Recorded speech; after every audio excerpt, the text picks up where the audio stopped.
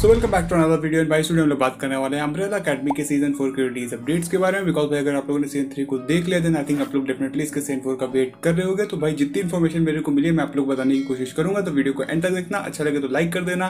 Channel को subscribe कर देना। चलो फिर वीडियो को स्टार्ट करते हैं। सो भाई फाइनली काफ़ी लंबे वेट के बाद हम लोग को जो अम्ब्रेला अकेडमी का सीज़न थ्री वो देखने को मिल गया। एंड भाई, अगर आप लोगों ने सीज़न थ्री को लास्ट तक देख लिया देन आई थिंक आप लोग को चीज़ पता चल गई होगी कि आप लोग को भाई, जो इसकी स्टोरी भी आगे भी कंटिन्यू होती हुई देखने को मिलेगी। अब देखो भाई, काफ़ी सारे लोग होंगे जिन्होंने अभी तक इसके सीज़न थ्री को नहीं देखा है। दैट्स मैं आप लोग को भाई स्पॉइलर नहीं दे रहा हूँ बट इस आप लोग को जो इसकी स्टोरी है, वो आगे कंटिन्यू होती हुई देखने को मिलेगी। इसकी एंड भाई मेकर्स ने सीज़न थ्री के एंड में दे दी है। दैट्स भाई काफ़ी सारी ऑडियंस जो कि जानना चाहते हैं कि उनको जो इसका सीज़न फोर है, वो देखने को मिलेगा या फिर नहीं मिलेगा। एंड नेटफ्लिक्स ने अभी तक इसके सीज़न फोर को रिन्यू करा या फिर नहीं करा तो देखो भाई, अभी आप लोग लिए काइंड ऑफ़ गुड न्यूज़ है बिकॉज़ जितनी इन्फॉर्मेशन अभी मेरे को मिली है, उसके अकॉर्डिंग आप लोग को जो इसका सीज़न फोर है, वो देखने को मिलेगा। हालाँकि भाई, अभी नेटफ्लिक्स की तरफ़ से इसकी ऑफिशियल कंफर्मेशन होनी बाकी है। एंड यूजुअली भाई नेटफ्लिक्स दो से तीन महीने लेता है अपने शो को एनालाइज करने के लिए कि भाई कितने व्यूज़ उसके पर्टिकुलर सीज़न को मिले एंड अगर भाई व्यूज़ के मामले में शो अच्छा करता है देन भाई नेटफ्लिक्स उसको एक से दो महीने के अंदर रिन्यू भी कर देता है। तो वही सेम प्रोसेस आप लोग भाई अम्ब्रेला अकेडमी के सेन फोर के साथ भी देखने को मिलेगा। एंड अभी करंटली जितनी रिपोर्ट्स आई है, उनके अकॉर्डिंग आप लोग को अक्टूबर से नवंबर के बीच में जो इसका रिन्यूअल है, भाई नेटफ्लिक्स की तरफ़ से सुनने को मिल जाएगा। एंड भाई लास्ट में बात करें, सबसे मेन टॉपिक की आप लोग को इसके सेन फोर को देखने के लिए कितना लंबा वेट करना पड़ेगा। एंड सेन फोर आप लोग को भाई किस टाइम तक देखने को मिल सकता है? तो देखो भाई करंटली रिपोर्ट्स अकॉर्डिंग अगर चले तो आप लोग को सेन फोर को देखने के लिए भाई काफ़ी लंबा वेट करना पड़ेगा। बिकॉज़ भाई ये साल तो पूरा इस सीरीज़ के रिन्यूअल में ही